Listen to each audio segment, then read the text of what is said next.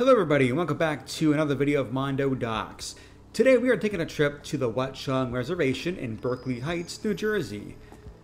Right now, you see me walking through some woods, and these woods and the reservation are believed to be extremely haunted.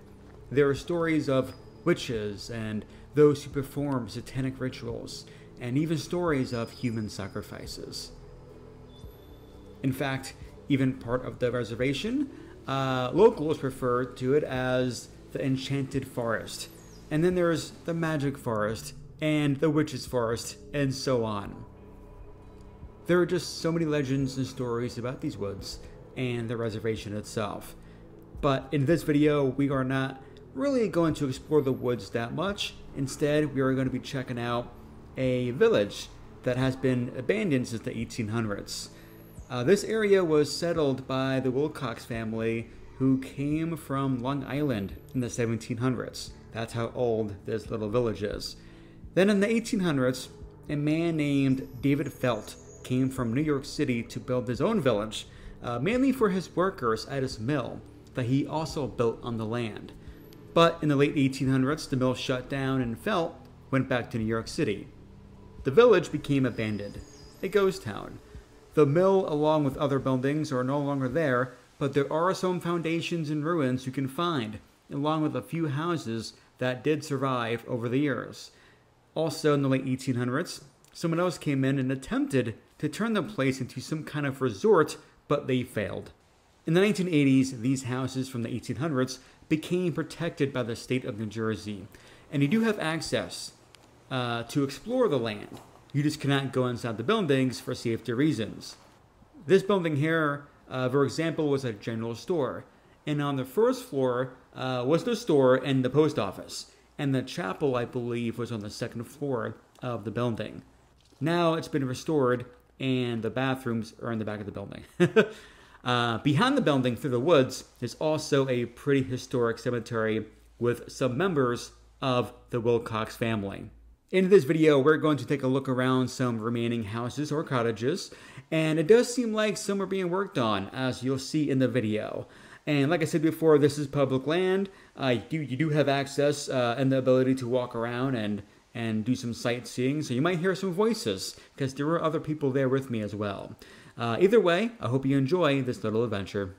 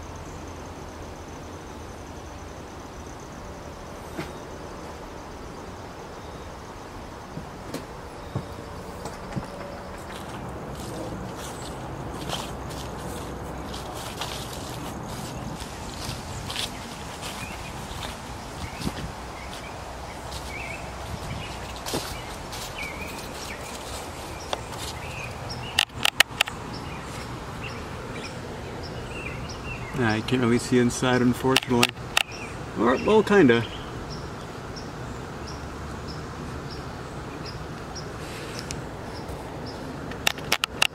No, not really.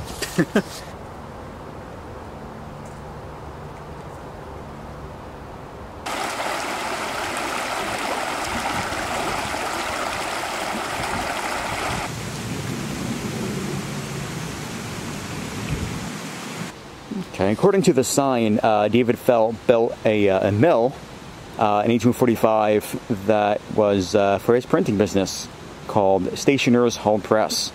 David Felt built the town, Feltville, um, on the bluff overlooking the mill to house his workers. A three bay housed ox drawn wagons that carried Felt stationery products to his store in New York City.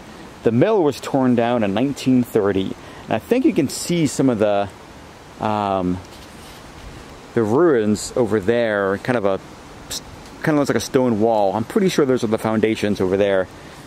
But um, and this other sign here, you look at the map, yeah, because obviously we are here, and this is the factory site, so those stones or ruins make sense.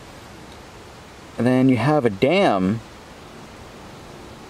to the east of us. And before we were looking at these houses, the three small houses, the cottages, those are them. And I guess, yeah, because we did see the ones in the front. So the one right here on the right was being worked on by the construction workers, which we saw and heard. And then there are two behind them, which are up on the hill right over there. So I think we're going to try to see those if we can. And we saw the cemetery, which was cool. But yes, we're going to try to see those other two houses up close if we're able to. Um, yeah, let's, uh, let's do it.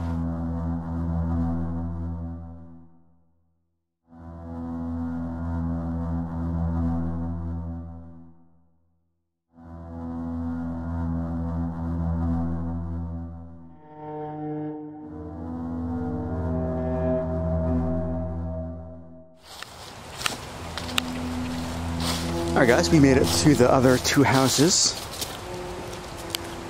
that were used to house the workers for the the mill.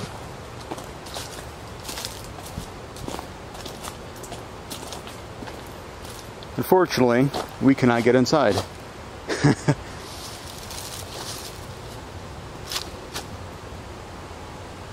ah, that sucks. But it's still pretty cool to look at.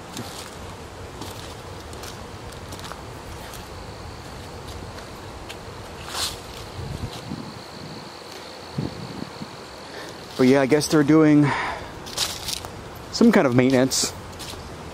Restoring the buildings, perhaps, which is good. It'd be a shame if these were, you know, to be left completely neglected or abandoned and left to rot.